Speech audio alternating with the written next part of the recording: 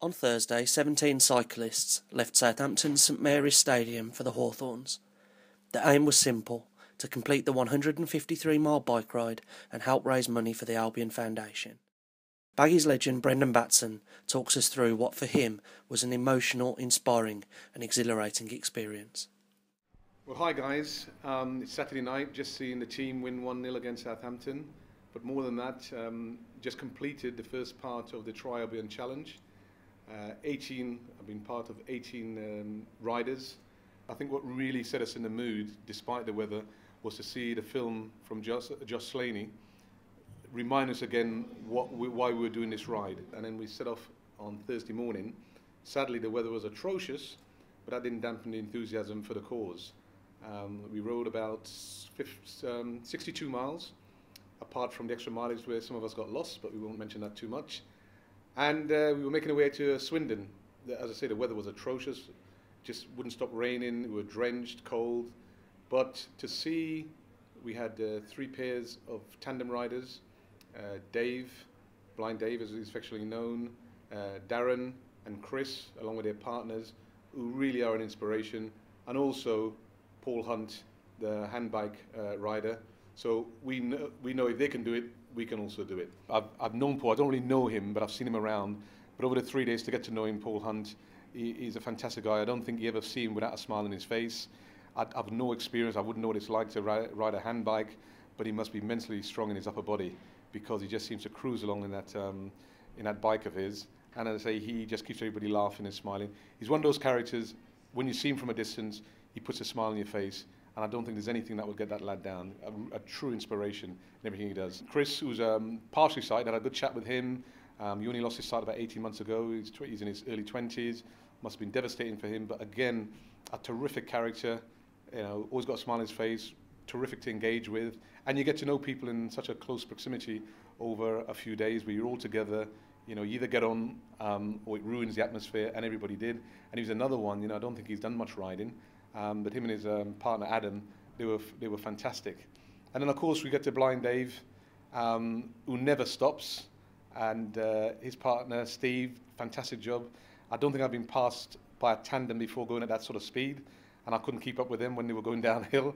Uh, they do, as he says, when they go uphill, they're quite slow, but when they're going downhill, get out of the way.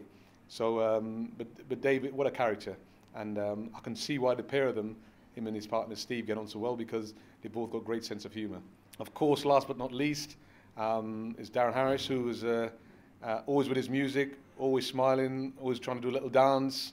Um, he likes his reggae and uh, all sorts of uh, hip hop, etc. But he was, he was terrific as well. I mean, I had to laugh about him sometimes. His partner, Mark, I'd be pulling up alongside him and say, Mark, do you realise Darren's got his hands behind his head? He's not pedaling, he's just enjoying the flipping ride. Uh, but no, he played his part. Very, very fit individual. It was a bit like being involved in the dressing room again with the, the whole group of us. And with all the support staff as well. Um, Rob Lake and his staff did a fantastic job. And Gary, our rider, to hopefully, um, who made things safe for us on the roads. And then um, after a good night, early start again in the morning, things were slightly changed, so we split into two groups. Um, the organisation was a lot better because we learned from the first day, and fair play to the, um, the Albion Foundation staff. Uh, totally different the second day, cold, very bright, sun was out, lovely, great day for riding. Um, everybody was complete. We, we rode to Evesham, and everybody was in a hotel literally together and it was it was terrific. And we got in there, you know, well ahead of schedule. That day being nice and bright, I was told several people had done it. I've never experienced Fish Hill. And for those of you who know what Fish Hill is all about, you know it's a sweeping one and a half mile descent, and it's literally straight down. And it was fantastic. It was probably one of the best moments of my life, really. It was exhilarating. I've never been that fast on my bike. I got up to nearly 40 miles an hour, only to be bettered by Dave and Steve when they came down who had done just under 55 miles an hour.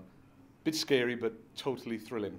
We set off on um, Saturday morning, obviously very excited about finishing off the ride, coming into the stadium to finish off the uh, first leg of the, um, the challenge. And uh, looking forward to the game.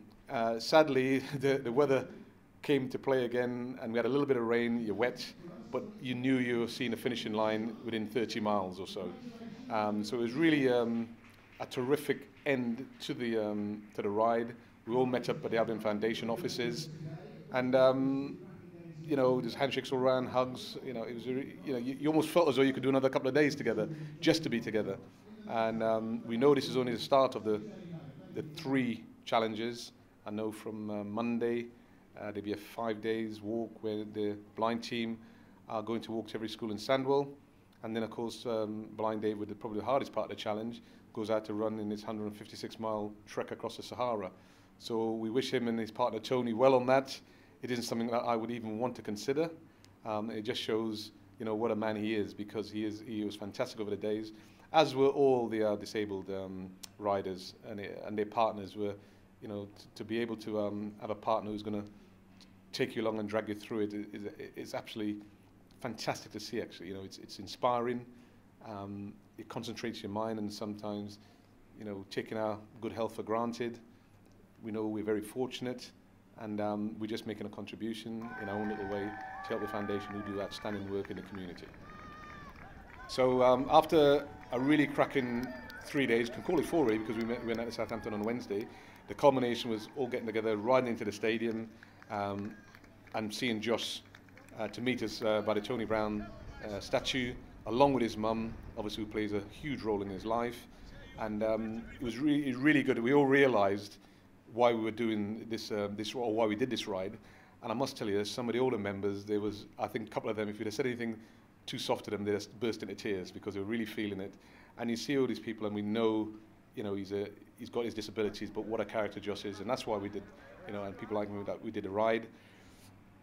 It is about raising money and raising funds. People have been very, very generous, but if you are able to, please donate. You can go onto the Albion uh, website, the foundation website. They've got a Just Giving page. Every little bit helps. During the course of the ride, we're meeting people when we were having our stops in pubs, having lunch, who are donating money, giving us fiver, 15 quid, 20 pounds. You know, it's really great. So anything you can um, add to the total would be much appreciated.